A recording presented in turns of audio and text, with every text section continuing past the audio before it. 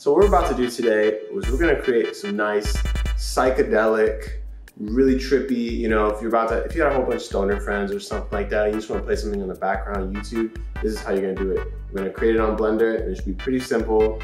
So why don't we just dive right on in? So first things first, per usual, my friend, ambient occlusion, bloom, screen space reflections, run over to the edit tab, preferences, make sure that your default interpol, oops, make sure that your default interpolation is set to linear. Now after that, let's go ahead and bring in a cylinder. And with after bringing in, make sure you set your vertices to around like mm, eight. Let's make it nice eight. Then let's rotate it RX 90. And then what you're gonna wanna do is quickly press G and Y, drag it over a tidy, tad bit. Set your Z dimensions to eight. It's for our loop. Once you have that set up, go ahead and drag it on over a little bit as well.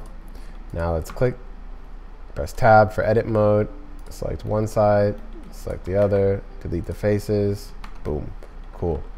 Now let's go ahead and view front, bring in a camera. You can see we have our camera.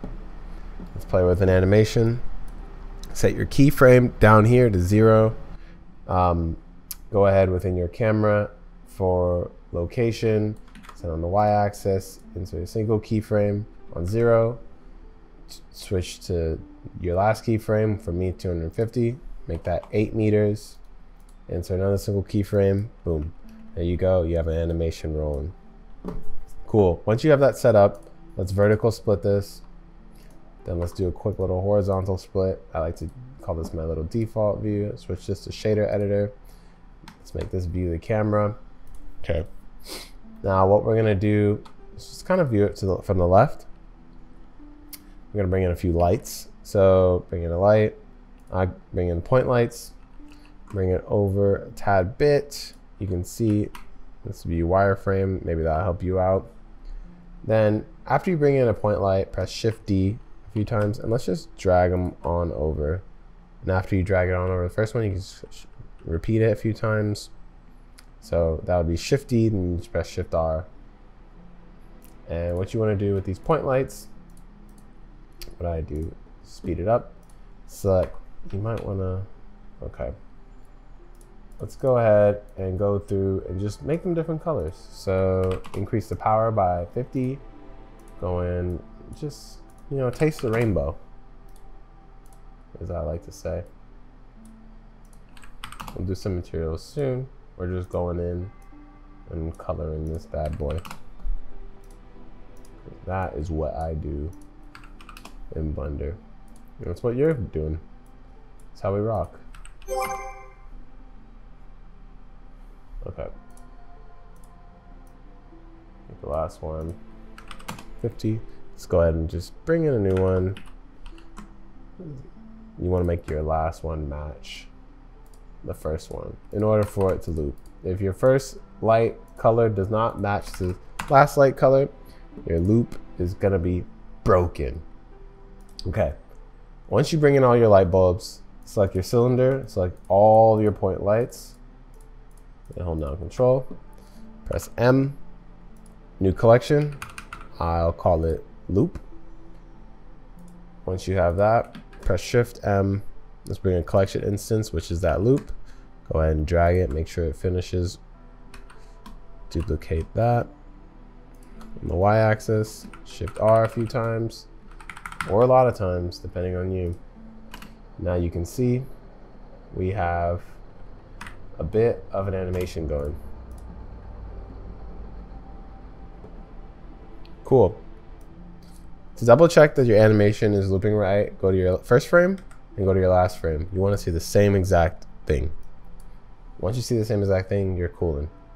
So let's go ahead and select our cylinder and our original into the material. Super simple here, super, super simple. Turn down roughness, uh, let's not turn up metallic. Let's turn on the roughness. That's it. Um, once you do that, let's just go ahead and make sure that some things are set up right. Turn down the strength Turn your base color down to black.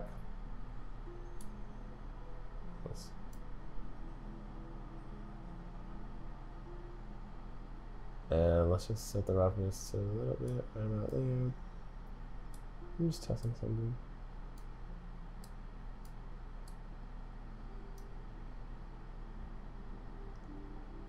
What about there works? So, roughness 1.1, metallic all the way set up to 1, and you should be cool right there. All right, once we have that, what we're gonna do is head over to our compositing tab. Actually, first things first, head over to your output properties. Let's just make sure we have everything set up. File format, FFmpeg, MPEG-4, turn it to perceptually lossless. Let's give this place a home. Cool. Once you have that, let's go over to compositing. Use nodes. Viewer. Shift A, bring in a reroute, attach those two. Oh, let's just go ahead and render still image.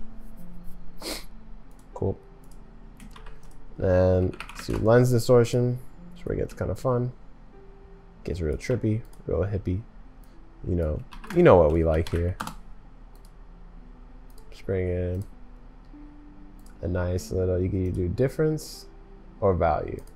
Let's let's play around with something. I'm gonna do value. I'm just gonna go ahead and leave it like that. And that's pretty much the tutorial. Uh, we can go ahead and add a little bit of contrast if you want for some fun. Let's do it like that. And there we go. We have our nifty difty kind of vibe. So let's wrap this up. I'm going to show you how to render. Go ahead and go to the left hand corner, click render animation. And if you set up everything properly, it should just render out a video for you. So thank you, thank you, thank you, thank you once again for dropping on in. I hope that this video has entertained you. I hope that this video has given you a little more Blender knowledge or something, something interesting, something useful. And hopefully uh, you get to use this at a concert or something. But anyways, if you create something, please, please, please feel free to just tag me. Like, um, I know most of the time, you know, when we do tutorial, we want to keep that credit.